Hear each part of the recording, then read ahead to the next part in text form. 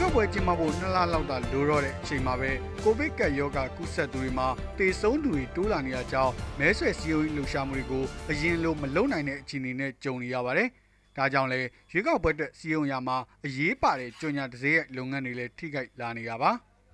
ရခိုင်ပြည်နယ်ကနေစတင်ပြန့်နှံ့လာခဲ့တဲ့ကိုဗစ်ရောဂါတကြောပြန်ကူးစက်မှုတွေဟာရန်ကုန်မန္တလေးစတဲ့မြို့ကြီးတွေအထိရောက်လာတာကြောင့်မလိုအပ်ရင်အိမ်ပြင်မထွက်ကြဖို့ပါဝင်တွာလာလှုပ်ရှားမှုတွေကန့်သတ်ထားတာကြောင့်နိုင်ငံရေးပါတီတွေအနေနဲ့မဲဆွယ်လှုပ်ရှားမှုတွေကိုအကန့်အသတ်နေတာလုပ်နေရတာကြောင့်နိုင်ငံရေးလှုပ်ရှားမှုတွေနဲ့ဆက်ဆက်နေတဲ့ကြော်ညာတစ်စိတ်ရဲ့လုပ်ငန်းတွေမှာအမှားတွေရော့ကျလာနေရလို့နှစ်ပေါင်း30ကျော်တစ်စိတ်ရဲ့လုပ်ငန်းလုပ်နေတဲ့မန္တလေးမြို့ကဦးတူကပြောပါတယ်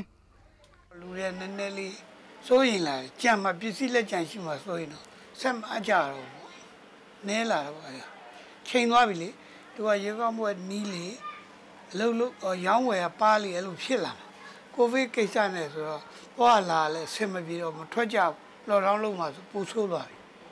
လော်ဒေါင်းနေလုံးမဲ့လို့စိုးရင်နေကြတာမှန်တယ် လာပိုင်းလောက်ချိန်တွင်းမှာပဲကိုဗစ်ရောဂါကြောင့်တေဆုံးသူနောက်ထပ်40ကျော်နဲ့ကူးစက်မှု4000ကျော်ထိတိုးလာတာကြောင့်ရွေးကောက်ပွဲရက်ရွှေ့ဖို့အတိုက်ခံနိုင်ငံရေးအင်အားစုတွေကတောင်းဆိုမှုတွေထွက်ပေါ်လာနေတာကလည်းကြော်ညာတစိမ့်ရိုက်လုပ်ငန်းတွေအတွက်စိုးရိမ်စရာဖြစ်နေရပါတယ်။ယောဂကူးစက်မှုတွေအများဆုံးကြုံနေရတဲ့ရန်ကုန်မြို့ကဒစိမ့်ရိုက်လုပ်ငန်းရှင်တူဖြစ်တဲ့ကိုထက်ခိုင်စိုးကတော့အနေရကြားကပဲလုပ်ငန်းတွေဆက်လုပ်နိုင်မှုစ조사နေရတယ်လို့ပြောပါတယ်။ရှက်ကန်ဝေးလာပြီးတော့ရွေးကောက်ပွဲပဲကန်ဆယ်ဖြစ်မလား ဒါဒါမှမဟုတ်လေကျွန်တော်တို့ပဲ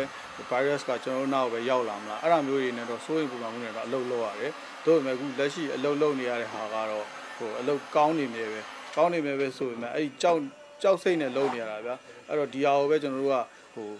ယာတုံးလေးကိုကျွန်တော်တို့အလင်းအမြန်ရအောင်ချစ်ကုတ်ပြီးတော့မှမြန်မြန်ဆန်ဆန်လုပ်နေရတာပဲ ကပ်ရောဂါကာလမှာတွာလာလှုပ်ရှားမှုတွေကန့်သက်ထားရတာကြောင့်စီးပွားရေးလုပ်ငန်းအများပြားရပ်ဆိုင်းထားရတာကလည်းကြော်ညာတစ်စိမ့်ရိုက်လုပ်ငန်းတွေတဲ့ကြီးမားတဲ့စိန်ခေါ်မှုဖြစ်နေပါတယ်။ကပ်ရောဂါနဲ့ကြုံရချိန်မှာတချို့လုပ်ငန်းတွေရပ်ဆိုင်းရတဲ့အထိကြုံရတာတွေရှိရလို့လည်းမန္တလေးမြို့ကတစ်စိမ့်ရိုက်လုပ်ငန်းရှင်ကိုမျိုးကပြောပါတယ်အများကြီးပြောင်းလဲပါတယ်ဘာဖြစ်လို့အများကြီးပြောင်းလဲလဲဆိုတော့လူတွေကဒါကြောင်ညာလုပ်ငန်းကိုသူတို့လုပ်ငန်းကြောင်ညာလုပ်ငန်းစီးပွားရေးလုပ်ငန်းတွေအောင်မြင်မှ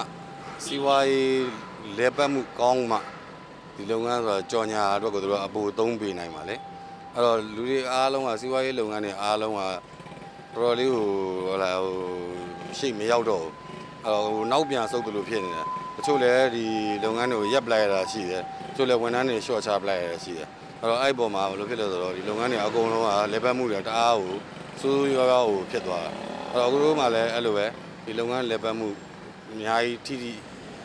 ရောက်ရောက်ကိုစိုးရွားရွားဖြစ်သွားတယ်။နိုဝင်ဘာ10ရက်နေ့မှာကျင်းပမယ့်ရွေးကောက်ပွဲအတွက်မဲဆွယ်စည်းရုံးရေးလုပ်ငန်းတွေကိုတော့စက်တင်ဘာ10ရက်နေ့ကနေနိုဝင်ဘာ6ရက်နေ့အထိပြည်ထောင်စုရွေးကောက်ပွဲကော်မရှင်ကခွင့်ပြုထားပါတယ်။ကော်မရှင်ကတော့ရွေးကောက်ပွဲကိုရွှေ့ဆိုင်းမှုအစီအစဉ်မရှိကြောင်းဒီလာဇန်းမှာပဲပြောဆိုထားပြီးကတ်ယောဂာနဲ့လုံညုံရေးအခြေအနေရဆိုင်းငံ့ထားဖို့လိုအပ်တဲ့မဲဆန္ဒနယ်မြေတွေရှိမယ်ဆိုရင်လည်းအောက်တိုဘာလတဲလောက်မှာထုတ်ပြန်ဖို့စီစဉ်ထားကြောင်းပြောဆိုထားပါတယ်ခင်ဗျာကျွန်တော်ထအောင်ခံပါ